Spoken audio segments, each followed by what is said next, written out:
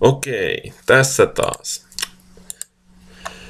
Ekonomista. Öö, Tällainen Lontoossa tai Englannissa il- ilmestyvä arvostettu talouteen ja kansainvälisiin asioihin keskittyvä aikakauslehti, ainakin Wikipedian mukaan. Ja tämä on tehnyt monenlaisia artikkeleja no, liittyen näihin talouteen ja kansainvälisiin aiheisiin ja niin päin pois. Ja sitten se päätti vähän huomioida tätä mm, EM-jalkapallotulosta sinänsä.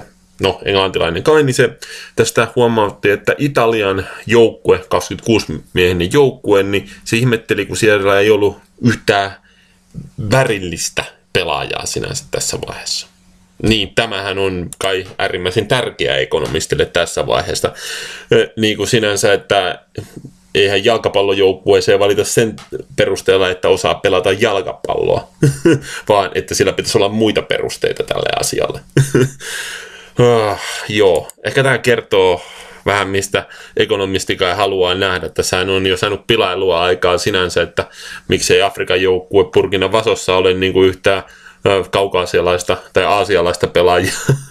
Tai niin päin pois, että tämä on vähän erikoista, että eikö italialainen joukkue sitten pitänyt sisällään vain italialaisia, sinänsä ainakin maathan tässä pelaa vastakkain, ei, ei mitkään niin kuin, jos, jossain maa olevia perusjoukkueita, jotka ottaa vaihtopelaajia ihan mistä saa tai mistä sillä on varaa tai niin päin pois. Eli tämä kai on on ekonomistille vähän mielenkiintoinen, mistä se puhuu sinänsä.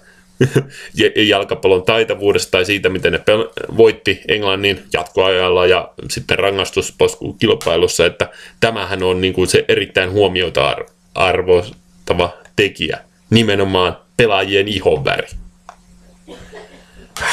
Jotenkin toivoisi, että tämä olisi, niin kuin tästä olisi päästy jo eroon, mutta ekonomista nähtävästi siellä ainakin ne, ne, jotka tämän jutun teki, niin niillä on kai jotkut toiset prioriteetit tässä vaiheessa. Assua sinänsä, ja eikö 60-luvulla italialaisia pidetty jonkun värillisenä Yhdysvalloissa tai mu- muuallakin maailmassa vähän, että tämä on vähän kummallista sinänsä, mutta kai tämä on nytten osoitus siitä, minkälainen poliittinen kulttuuri tai ainakin ideologinen kulttuuri on joissain lähissä.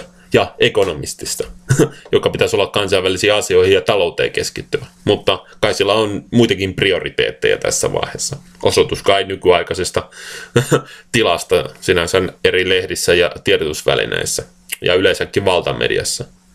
Mutta katsotaan nyt, miten tämä edistyy tämä tilanne.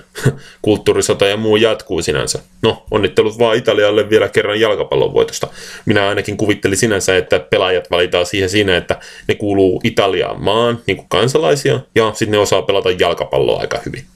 Ja se, se vei Euroopan mestaruuden voittoon. Onnittelut siitä. Tässä kaikki. Jatkoi.